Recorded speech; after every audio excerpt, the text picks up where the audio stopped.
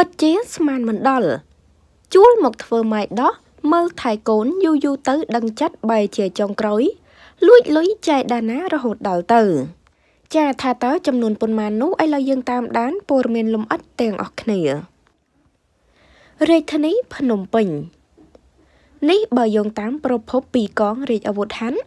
ខណ្ឌព្រែកភ្នៅបានឲ្យដឹងថាកម្លាំងជំនាញអាវុធហត្ថខណ្ឌព្រែកភ្នៅ បានទទួលជនសង្ស័យម្នាក់ពីបទលួចលុយពីឈ្មោះ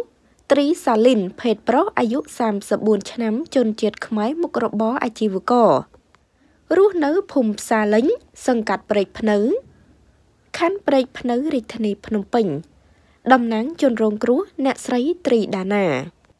ចំណែកជនសង្ស័យមានឈ្មោះថាសម្រិទ្ធផល ភេទស្រីអាយុ35ឆ្នាំ ជនជាតិខ្មែរ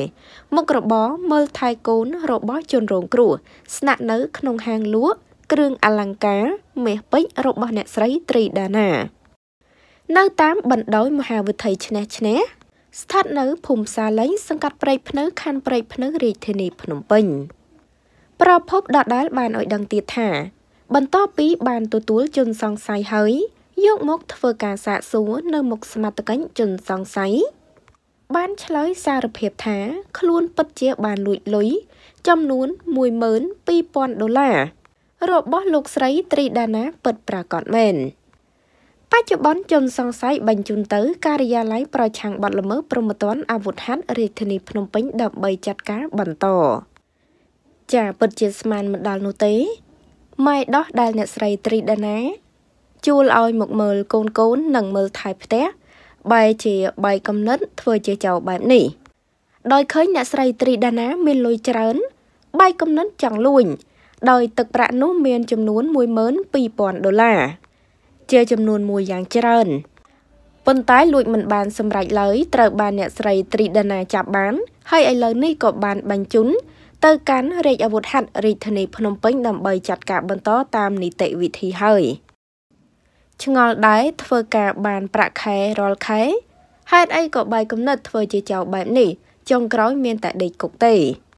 រឿងចោលនេះកំពុងតែល្បីកក្រៅប្រទេសប្លន់មិនបានសម្រេចចុងក្រោយត្រូវស្លាប់ខ្លួនចាហើយតកតងនឹងព័ត៌មាននេះដែរក៏សូមបញ្ចប់តែត្រឹមនេះឥឡូវយើងងាកមកតាមដានព័ត៌មានមួយទៀតដែលតកតងទៅនឹងឆនស្វណ្ណរៀងធ្លាយរូបថនអបថើបសង្សារធ្វើឲ្យស្រីស្អាតជាច្រើនខកចិត្តមិនស្ទើរ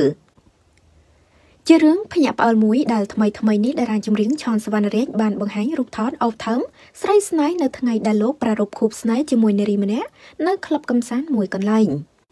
ក្រមុំក្រមុំជាច្រើនបានសម្ដែងការខកចិត្តព្រោះតែសវណ្ណរាជអបរិទ្ធស្រីស្នេហ៍មិនព្រមប្រឡែងសោះខណៈដែលនារីខ្លះថា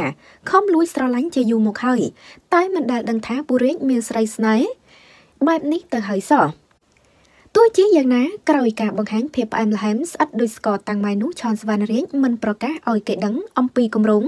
ដឹកដៃកម្ពុជាស្នេហ៍ចូលរោងការនៅពេលណាឡើយស្រោះពេលដែលក្រុមអ្នកគាំទ្រតារាចម្រៀងរូបនេះលន់មកថាពេលនេះពូរេចេះស្រឡាញ់ស្រីហើយ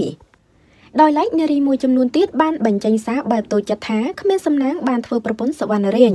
អូនបានរូបថតគេបានបង ឆានសវណ្ណរៀងធ្លាប់សារភាពថាមានស្រីស្នេហ៍ជានិស្សិតម្នាក់រស់នៅអាមេរិកឈ្មោះអារីយ៉ាតែដំណឹងស្នេហ៍តារាចម្រៀងរោមទ្រង់ច្រើនរូបនេះបានស្ងប់ស្ងាត់ជាច្រើនឆ្នាំមកហើយប៉ុន្តែនៅថ្ងៃរៀបការពិធីការនីប៉ែនស្រីពេញកាលពីថ្ងៃទី8មករា2021នោះសវណ្ណរាជក៏បានបណ្ដានារីប្លែកមុខម្នាក់ស្និទ្ធស្នាលដោយគូស្នេហ៍ផងដែរទៅធ្វើឲ្យគេសង្ស័យថាស្រីនោះជាអនាគតភរិយារបស់លោកសវណ្ណរាជ ដើម្បីឲ្យអ្នកគ្រប់គ្រងឈប់យល់ច្រឡំថាសវណ្ណរាជមានប្រុសតាមស្នេហាច្រើនជាងស្រីទៀនតើពេលនេះម្ចាស់បនអារម្មណ៍ពេលខូចចិត្តរូបនេះក្លាហានហ៊ានអោបថើបសង្សារកណ្ដាលវងមនុស្សតែម្ដងចាមិនធម្មតានោះទេ ពេលនេះឆនសវណ្ណរាជបង្ហាញរូបថតថើបគូស្នេហ៍ដែលធ្វើឲ្យនារីជាច្រើនខកចិត្តដែលខំលួចស្រឡាញ់តាំងពីយូរនារីម្នាក់នេះពិតជាសំណាងមែនទែនដែលបានអាយដលក្នុងដួងចិត្តប្រិយមិត្តជាច្រើនធ្វើជាសង្សារ មិនយូរនោះទេឆនសវណ្ណរាជនឹងដឹកដៃគូស្នេហ៍ចូលរោងការដោយតារាដតីទៀតជាជាមិនខានឡើយ។